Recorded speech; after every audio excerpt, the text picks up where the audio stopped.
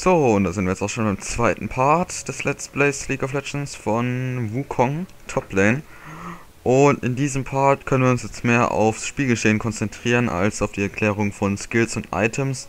Natürlich auch noch auf die Erklärung von Skills und Items, aber äh, naja, eigentlich keine Skills mehr, sondern nur noch Items. Das reicht und ansonsten können wir uns einfach jetzt die Teamfights anschauen. Ich fokussiere jetzt einfach jetzt einfach mal dauerhaft die Kamera auf uns, weil ich glaube jetzt so ab circa äh, der 30. Minute kommen jetzt quasi eigentlich nur noch Teamfights. Abgesehen von ein bisschen Farmen oder sowas.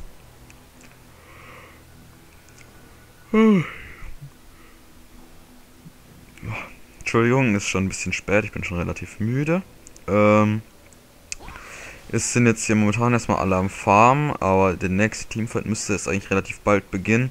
Und ab der Minute jetzt hier gab es eigentlich nur noch Teamfights, weil eigentlich jede Lane schon so gut wie durchgepusht ist auf beiden Seiten und eigentlich mal sonst jetzt nicht mehr groß was machen kann. Ähm, es sind jetzt aber auch keine Gegner sichtbar. Katharina teleportiert sich jetzt zurück und deswegen fahren wir hier einfach erstmal noch ein bisschen. Die Minions, oder was heißt die Minions, die Monster im Jungle eigentlich. Und währenddessen kann ich dann noch ein bisschen schon mal das Itembild besprechen. Und zwar haben wir ja jetzt hier jetzt ähm, die Schuhe fertig, das Black Cleaver fertig und man sieht jetzt hier schon, das wird hier ein Trinity Force. Ähm, also dann noch hier ähm, noch ein Ziel und dann zu Trinity Force ausbauen. Trinity Force ist einfach ein echt gutes Item für Wukong, weil es einfach alles bringt, was man braucht. Hier Phage bringt halt Leben und Attack Damage und, und noch Slow ist natürlich echt krass. Äh, ist echt einfach gut. Das ist auch, glaube ich, das erste Item, was ich mir kaufe nach den Schuhen. Äh, dann das Sheen, ähm, die Glanz auf Deutsch, glaube ich.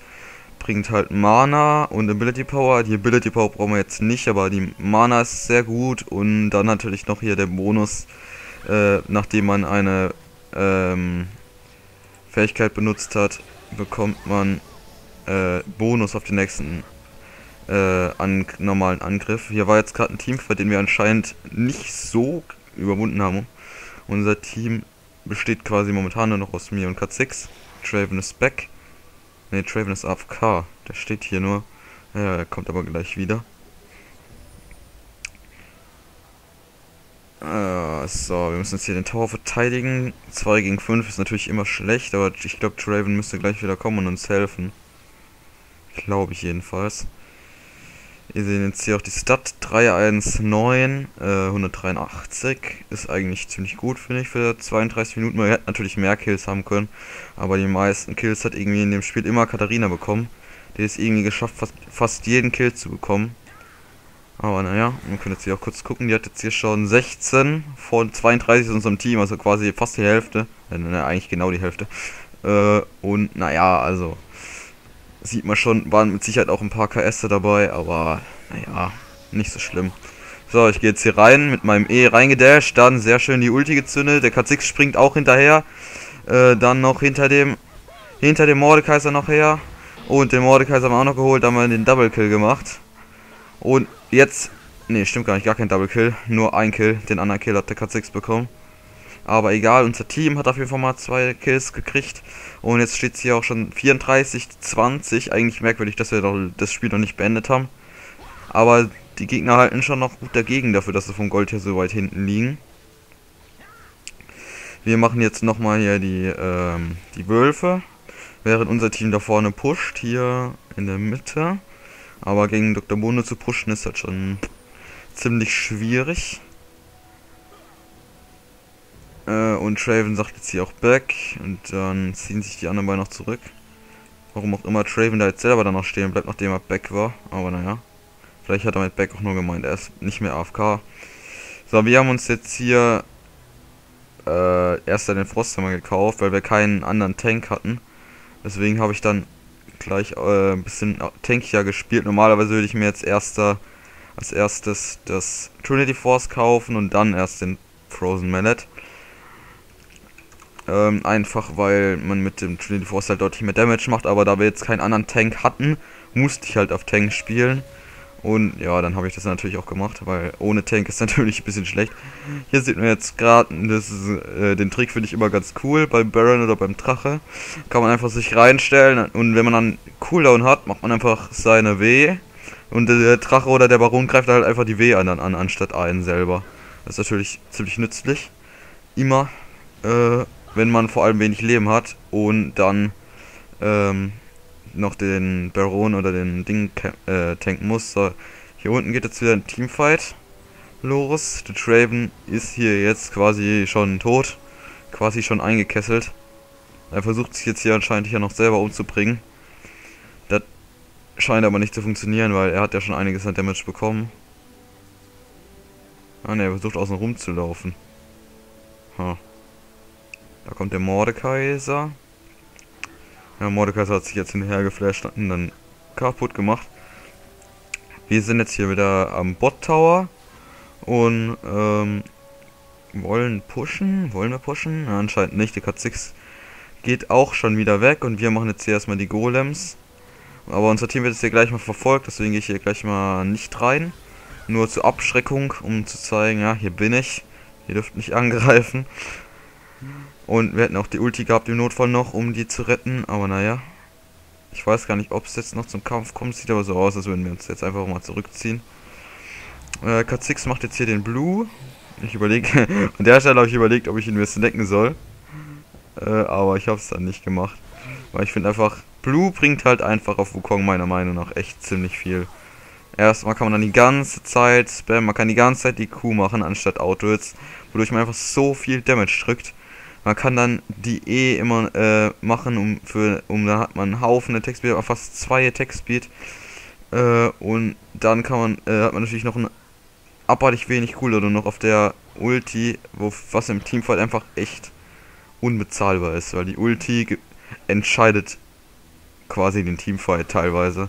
Also wenn du die Ulti von Wukong gut setzt, kann das Spiel entscheidend sein, vor allem wenn du sie mehrmals gut setzt. Ich mache jetzt hier den den Red. Ich habe jetzt da überlegt, ob ich da jetzt noch hinterher renne. Aber ich habe mich dann so entschieden, dann den Red zu machen, damit die den nicht bekommen. Und es müssten eigentlich jetzt auch noch alle von uns wegkommen. Ja, der K6 macht sich erstmal nochmal unsichtbar. Ja, sind alle entkommen. Warum auch immer der Traven da jetzt wieder reinrennt. So, so Aktionen haben wir ja von ihm. Oder habe ich von ihm, ich weiß nicht, ob ich es euch gezeigt habe. Auf jeden Fall habe ich sie von ihm ziemlich oft gesehen hier. So, wir gehen jetzt hier hinter dem Dr. Mundo, ja. Einen haben wir ja auch schon gekillt von denen. Dann jetzt als nächstes äh, versucht dann der Traven hier noch den, den ähm, Mordekaiser zu töten. Schafft es dann natürlich nicht mehr. Wir konnten ihm auch nicht helfen hier. Ohne Leben, ohne Mana. Geht halt nichts. K6 guckt jetzt hier, überprüft erstmal noch, ob da jemand im Jungle steht. Und hier teleportiert sich Mordekaiser auch mit Lowlife zurück, aber da ist nicht so schlau rein zu jumpen. Vor allem nicht, wenn da noch vier Gegner rumstehen. So, jetzt dürfte das... Ja, ne, reicht nicht das Geld. Müsste jetzt aber wahrscheinlich wenigstens... Ja, genau, nochmal ein Phage kommen. Und äh, jetzt haben wir natürlich den Ultra Slow hier. Wenn wir erstmal ein Frozen Mallet und dann nochmal... Ah, ne, stimmt gar nicht. Das ist gar nicht doppelt. Das steckt nicht. Das ist ja unique. Ja, gut, aber trotzdem, auch der Einzelne ist natürlich schon ziemlich krass. Also hier 40% äh, Slow für Auto-Hits und 30% Slow für Fernkampf-Auto-Hits. Also das ist schon ganz schön krass. Und dann halt noch ähm, Slow, äh, Movement Speed Slow für 1,5 Sekunden bei jedem Schlag. Das ist halt schon echt nützlich. Vor allem wenn man jetzt gegen, zum Beispiel gegen Adi Carry kämpft, dann ähm, ist es ja, quasi der Tod für den, weil der halt einfach keinen Deckspeed mehr hat, dann und keinen Damage mehr drückt. Vor allem nicht, wenn man dann noch ein bisschen tanky ist, so wie ich jetzt hier, und 3000 Leben hat. Da hat der natürlich einfach gar keine Chance. Der AD Carry. Man braucht ja auch schon nur, nur die E und die Q ziehen im AD Carry meistens schon so ein Drittel der Leben oder so. Und dann noch ein paar Auto-Hits, dann ist er auch schon weg. So, hier unten scheint jetzt wieder gleich ein Kampf loszugehen, oder? Ja, ja sieht, sieht ein bisschen so aus. Sieht so aus, als wollten sie jetzt hier die Katharina umbringen. Ah, hat nicht gereicht. Ja, wir sind jetzt hier auch schon gleich auf Weg in den Teamfight. So, die verfolgen jetzt hier noch die Nami. Die Nami kommt hier, die, Na die Ulti kommt. Schlägt erstmal alle hoch. Lulu als Supporter rennt hier erstmal nach vorne. Und die Katharina, ja, hm, ja, stirbt sie noch? Ja, tatsächlich durch Ignite noch gestorben. Der Draven verfolgt jetzt, warum auch immer, den Mordekaiser nicht, weil er hier noch seinen Teil sammeln will. Und wir haben jetzt hier noch die alle geholt. Und sogar mit der Lulu-Ulti noch überlebt. Also gerade wieder zwei Kills gemacht. Sehr gut, wir haben jetzt mittlerweile 6-1, wieder 1500 Gold fast. Damit können, können wir uns jetzt, ja, können wir uns jetzt das Trinity Force fertig kaufen, wenn wir das nächste Mal weggehen, was ja wahrscheinlich jetzt gleich ist, ja. Aber da kommt auch schon der Mordekaiser mit seinen Homeguard Boots, deswegen hier erstmal nochmal ein bisschen zurückziehen. Keine Lust hier gleich recken zu gehen, nochmal Mordekaiser, weil würde wahrscheinlich eine Attacke ausreichen und wir wären tot. Oder zwei. Auf jeden Fall nicht viel bräuchte das, um, den, um uns umzubringen. Wir haben jetzt hier, ja, Trinity Force gekauft. Das heißt, wir haben jetzt drei, vier Items von sechs fertig. Die anderen beiden kann man sich jetzt halt entscheiden, worauf man jetzt spielen will. Ob man jetzt mehr auf Damage spielt oder mehr auf Tank. Wenn man jetzt Tank spielt, kauft man sich noch Guardian Angel. Also Guardian Angel kann man sich generell eigentlich immer kaufen. Ist einfach echt gut. Vor allem die, die Wiederbelebung natürlich ist halt echt nice. Und halt auch noch ein bisschen Rüstung und Magieresistenz. Dann kann man sich zum Beispiel noch ein Atmas kaufen, wegen der Rüstung, wenn man ein gegnerisches Team hat, wo viel AD hat bringt es natürlich einiges und natürlich hier noch Crit.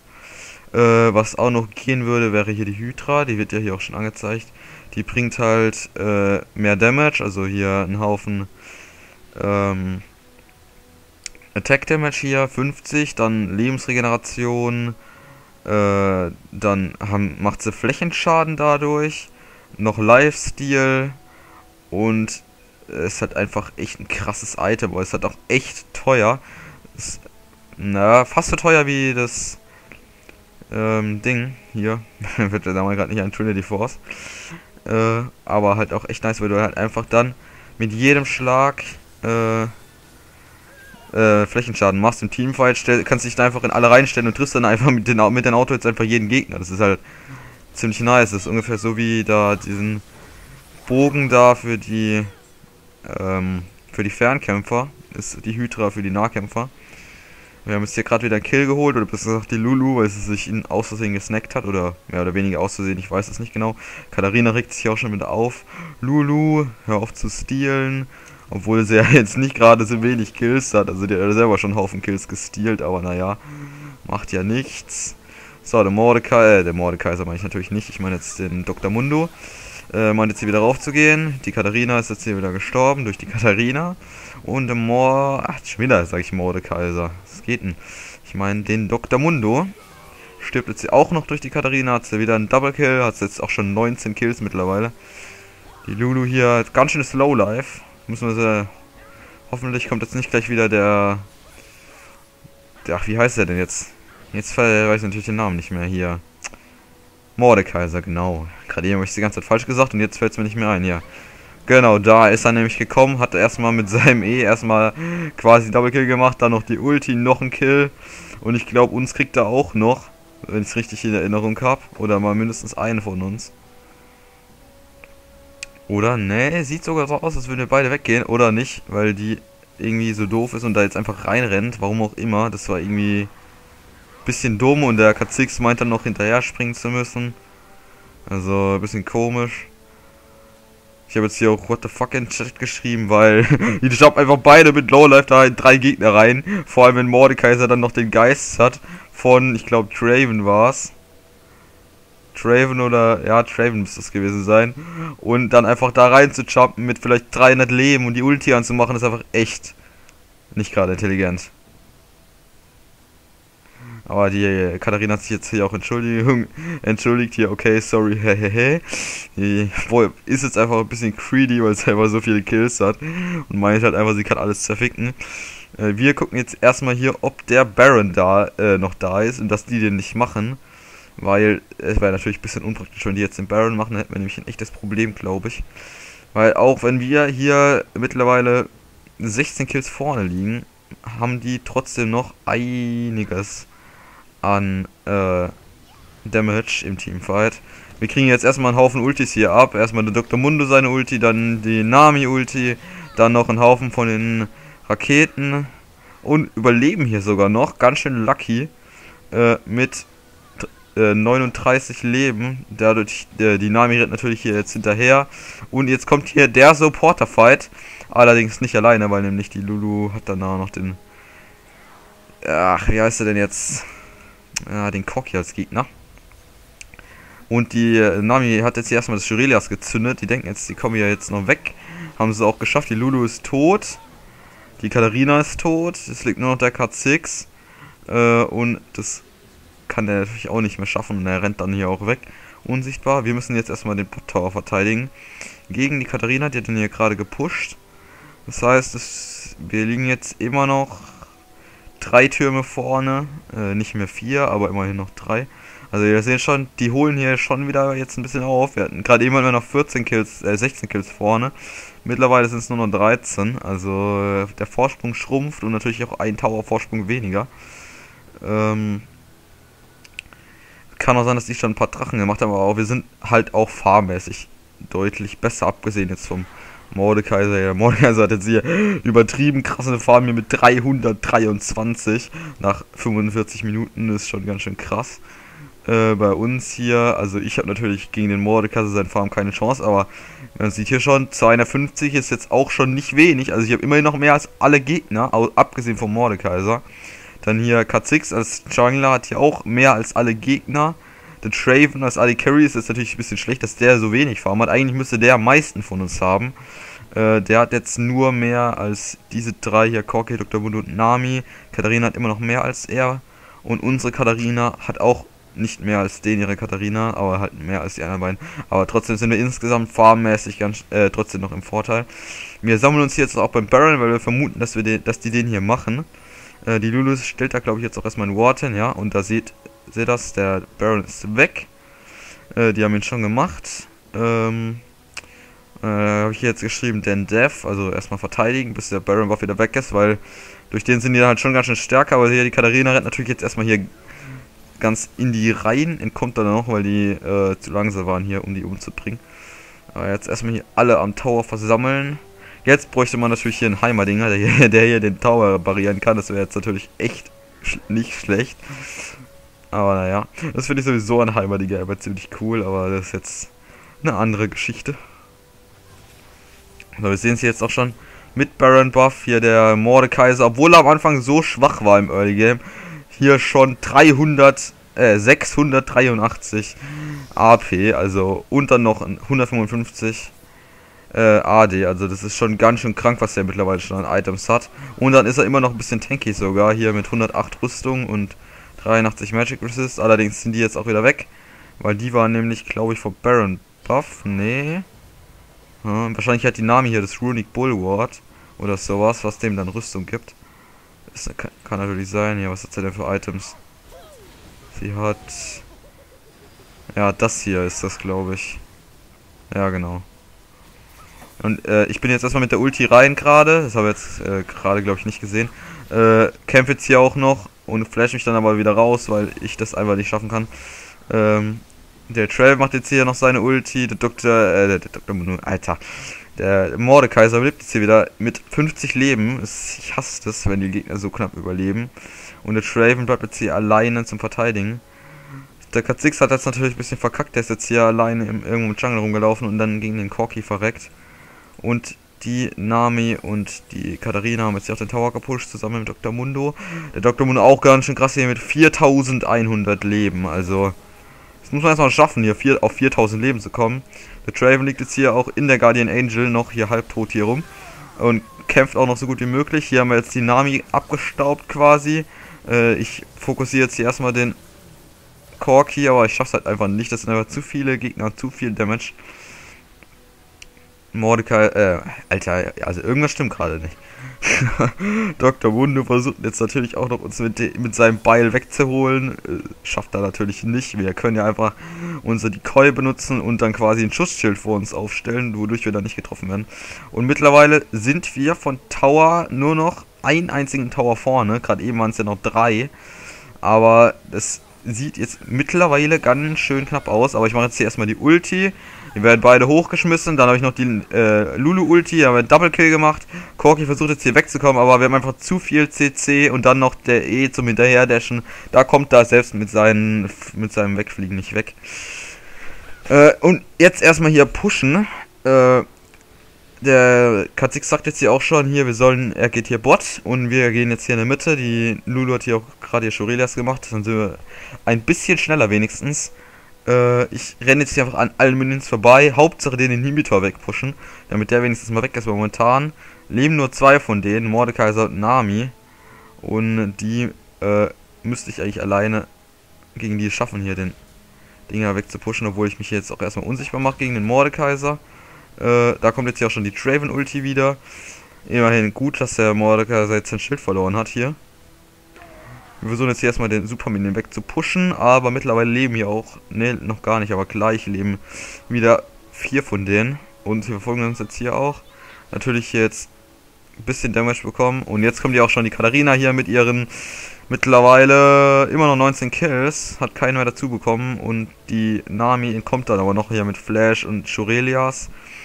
Aber jetzt steht es uns hier quasi frei, den Tower wegzupushen. Äh, weil jetzt auch Traven da ist. Der AD Carry der macht natürlich hier jetzt erstmal einiges an Schaden den Gebäuden. Und der K6 ist jetzt auch schon da, pusht hier die Botlane oder versucht sie jedenfalls, aber hat jetzt hier auch ein Problem hier gegen, ja, gegen Katharina, dann auch noch gestorben. Wir gehen jetzt hier erstmal von hinten auf Corky, machen die Ulti rein. Äh, Corky stirbt dann durch Traven. Äh, dann erstmal unsichtbar machen. Wir gehen dann hier links lang, Traven geht rechts lang. Wir haben natürlich genug Leben, um hier locker einmal kurz durch den Tower zu rennen. Traven entkommt hier, glaube ich, nicht mehr, weil einfach der Slow von dem Dr. Mundo ihn auffällt und weil er auch nicht wirklich wegrennt. Der ganze hier so Zickzack-Linie rennt, so komische.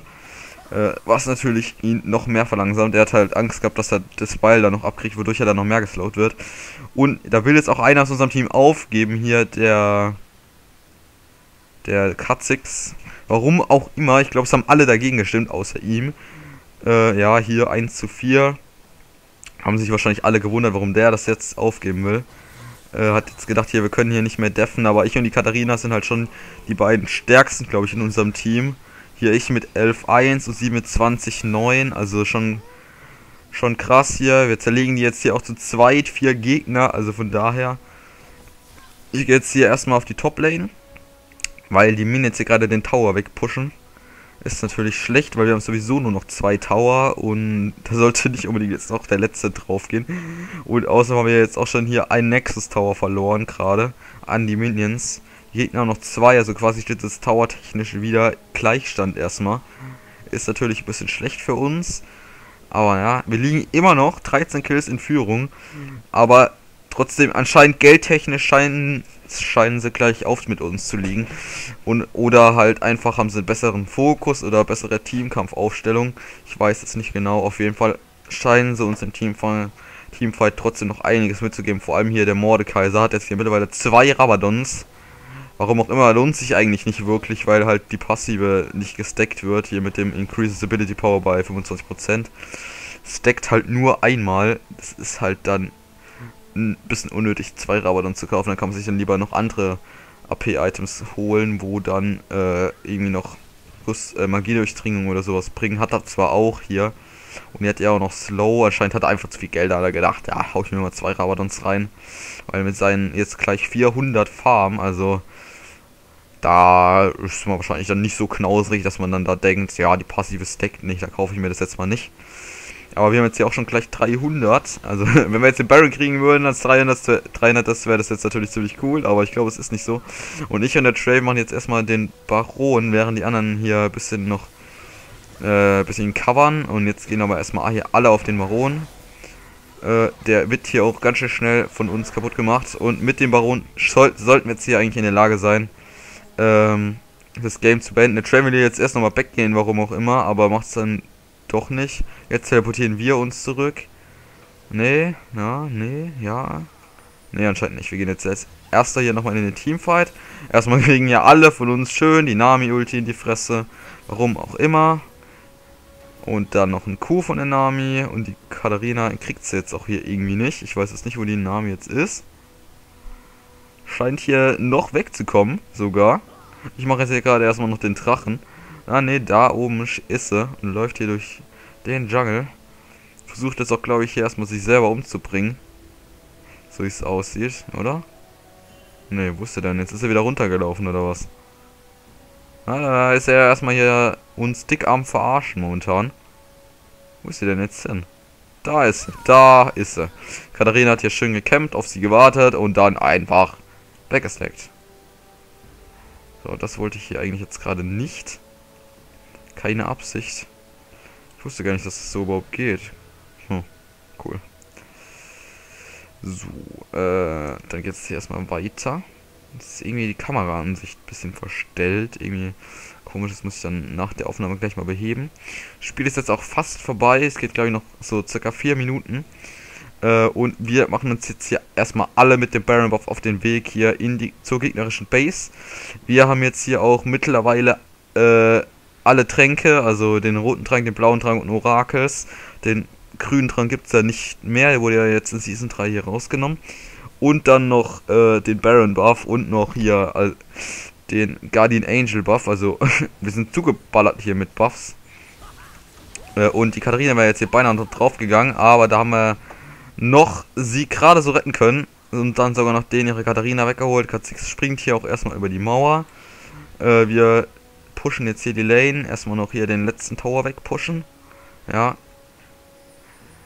Und dann geht's gleich an die Nexus Tower. Bei denen leben momentan vier. Aber die haben alle genug Probleme hier mit gegen unsere Super Minions zu deffen. Deswegen können wir hier ganz ruhig äh, den Inhibitor noch wegpushen. Und die hindern uns auch irgendwie nicht daran. So, jetzt greifen sie an. Jetzt kommt hier erstmal die. Lulu, äh, Nami-Ulti meine ich natürlich. Ähm, die uns hier erstmal nicht getroffen hat, weil wir geschickt ausgewichen sind. Allerdings ist unsere Lulu dann trotz ihrer Ulti noch gestorben. Der K6 macht sich jetzt erstmal mit seiner Ulti unsichtbar und ich renne hier auch weg. Ähm, damit jetzt nicht noch mehr von uns sterben. Wenn der Supporter stirbt, geht's noch, aber wenn jetzt hier noch einer von uns gestorben wäre, dann wäre es das wahrscheinlich gewesen mit dem Spiel. Der, ja, der Traven müsste jetzt hier, glaube ich, auch noch die Na äh, Nami kriegen. Ja, nee, da kommt jetzt also noch das Stun. Und wurden ihm jetzt auch von mir und von K6 gepinkt, er soll sich jetzt zurückziehen, aber nein, macht er natürlich nicht, weil jetzt auch noch die Katharina kommt. Aber ich glaube, sie können sogar noch einen Kill holen oder wenigstens mal den Blue noch snacken. Wir sind hier jetzt mittlerweile auch wieder da. Warum auch immer ich letztes Tag geguckt habe, ob der Baron da ist. Wir haben ihn ja selber gemacht, also von daher weiß ich nicht, was das jetzt gesollt hat. Ähm ich habe jetzt, glaube ich, erstmal noch vor, hier den Enemy Jungle zu gehen, weiß ich gar nicht. Auf jeden Fall erstmal noch die letzten Items. Ich habe mir jetzt hier, weil ich hier ein bisschen mehr auf Tank spielen musste für unser Team, noch das Guardian Angel hier gekauft. Und dann noch äh, More of Malmortius bringt halt einfach ähm, 55 Attack Damage, dann noch ein bisschen Magic, Magic Resist und äh, gibt uns eine Attack Damage für 2,5% von unseren fehlenden Leben. Also wenn wir jetzt ziemlich low life sind, machen wir halt dann einiges an Damage mehr äh, als wenn wir jetzt volle Leben haben. Und außerdem kriegen wir noch ein Schild, das magischen Schaden reduziert. Äh, was einfach echt nice ist gegen den Mordekaiser, weil wenn der uns dann vielleicht dann noch mit einer Attacke normalerweise töten würde, hebt das Schild die dann auf und wir können den dann wahrscheinlich dann noch kaputt machen. Das einzige Nachteil jetzt an dem Bild, wo ich jetzt da gespielt habe in diesem Spiel, ist halt einfach, man hat keinen Lifesteal, um jetzt äh, irgendwie wieder die Leben zu regenerieren. Äh, man kann sich für Lifesteal zum Beispiel entweder, wie schon gesagt, hier die Hydras kaufen oder zum Beispiel ein Blutdürster. Ähm, man könnte sich auch noch kaufen, wenn man nicht auf Tank spielen muss, gar nicht. Dann kann man sich auch hier ähm, die, äh, das Schwert des äh, Blade of the Ruin King, ich weiß jetzt nicht, wie das auf Deutsch heißt, äh, kaufen, was halt einfach gegnerische Tanks einfach so runterhaut, weil es einfach pro Schlag äh, 4% der gegnerischen Leben zieht. Äh, jetzt will ich aber hier nochmal das Ende des Spiels sehen. Wir haben jetzt hier die beiden Nexus Tower weggepusht. Hier kommt jetzt die Ulti der gegnerischen Katharina. Die dodgen wir jetzt aber allerdings mit unserer Ulti, wodurch die Katharina Ulti unterbrochen wird. Äh, zwei von uns sind schon gestorben. Wir haben jetzt drei von ihnen getötet und noch zwei Schläge auf den Nexus. Und dann ist dieses Spiel auch schon gewonnen. Das erste Spiel hier, Let's Play League of Legends, haben wir jetzt gewonnen und erfolgreich äh, abgeschlossen. Äh, ich werde jetzt nicht unbedingt immer darauf achten, dass die Spiele immer gewonnen sind. Nur halt, dass die Spiele einigermaßen gut sind, um jetzt die Builds und Techniken zu zeigen. Weil einfach, ja, sonst macht das ja jetzt nicht so Sinn. Wenn ich irgendwann einfach vielleicht noch äh, normale Spiele hochlädt, wo man dann vielleicht auch noch die anderen Spieler hört, mit denen ich spiele. In dem Fall war das jetzt mit keiner Premade zusammen, aber normalerweise spiele ich meistens so drei, drei Premades oder vier. Einfach weil es ja einfach viel bessere Teamabsprache ist. Aber in diesem Spiel muss ich sagen, hat es trotz vier äh, Non-Premates trotzdem echt gut mit der Teamchemie funktioniert. Äh, ist auch echt nice gewesen. Äh, auch der Katzix als Jungler hat echt einen guten Job gemacht und hat echt überall gut gegankt. Auch wenn er am Anfang ein bisschen oft bei uns war. Und nicht äh, an den anderen Lanes geholfen hat, weil bei uns war eh unnötig zu ganken, weil wir hatten ja ziemlich leichtes Spiel auf unserer Lane am Anfang gegen den Mordekaiser. Erst halt im Endgame ist er halt ziemlich stark geworden dann. Aber im Early Game haben wir den ja quasi regelrecht auseinandergenommen. Ähm, dann äh, ja, habe ich jetzt natürlich vergessen, am Ende noch die Biles zu zeigen. Vielleicht baue ich dann am Ende noch einen Screenshot ein, ich weiß es noch nicht. Ähm, aber ich denke, ich beende jetzt hier auch erstmal den Part. Ich hoffe, euch hat es gefallen. Und äh, ich hoffe, wir sehen uns noch beim nächsten Let's Play League of Legends. Beim nächsten Mal äh, wird es wahrscheinlich in AD Carry werden, äh, denke ich. In AD Carry oder mit Champ. Ähm, ich werde mal gucken, was ich noch für Replays habe. Und wenn nicht, dann muss ich halt noch neue aufnehmen. Ich habe heute schon ein relativ gutes AD Carry Game gehabt mit Wayne. Das könnte sein, dass das als nächstes kommt. Nächste Woche. Vielleicht mache ich auch schon unter der Woche, habe ich mir überlegt. Vielleicht Mittwoch ein äh, League of Legends Game, das ich hochlade. Mussten wir schauen. Aber vielleicht fange ich auch noch, äh, naja, vielleicht mache ich erstmal nur Herr der Ringe und League of Legends. Vielleicht, vielleicht fange ich auch noch was anderes an.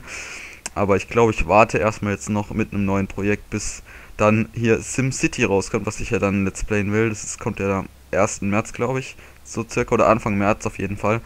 Ähm, und da möchte ich dann schon was dazu machen.